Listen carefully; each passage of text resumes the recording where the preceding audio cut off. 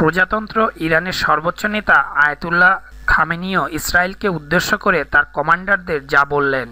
প্রজাতন্ত্র ইরানের সর্বোচ্চ নেতা আয়াতুল্লাহিল উজমা খুমেনিয়ের বক্তব্য, শত্রুরা ইরানের জনগণের স্বাধীনতায় অসন্তুষ্ট হয়ে রয়েছে। সে দেশের সামরিক বাহিনীর কর্মকর্তা ও কমান্ডারদের সঙ্গে এক বৈঠকে তিনি বলেন, ইরানের রাষ্ট্র ব্যবস্থা হচ্ছে স্বাধীন ব্যবস্থা এবং উনিশশো উনআশি সালে বিপ্লব সফল হওয়ার পর থেকেই প্রকাশ্যে নীতি অনুসরণ করে আসছে। তেহরান কারও তর্জন গর্জনকে ভয় পায় না।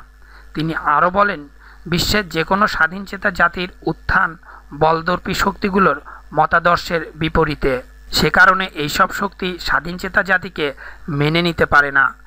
আয়তুল্লাহ খোমেনিও বলেন, শত্রুরা চায় প্রজাতন্ত্র ইরান তাদের কাছে আত্মসমর্পণ করুক। কিন্তু ইরান যদি তার বর্তমান অবস্থা থেকে সরেও আসে, তাহলে তারা শত্রুতা বন্ধ করবে না এবং শত্রুদের সঙ্গে ক্ষমাশীল আচরণ করলেও তাদের শত্রুতা কমবে না। সে দেশের সর্বোচ্চ প্রশাসনিক কর্তা বলেন, বিশ্বের বহু দেশ ইরানি জাতির উন্নতি দেখে মুগ্ধ এবং বিভিন্ন শক্তির মোকাবিলায় ইরান তার অধিকার রক্ষা করছে। তিনি ইরানের সামরিক কর্মকর্তাদেরকে উদ্দেশ্য করে বলেন, ইরানের সশস্ত্র বাহিনীকে এমন শক্তি অর্জন করতে হবে যাতে শত্রুরা আগ্রাসন চালানোর কথা কল্পনাও না করতে পারে।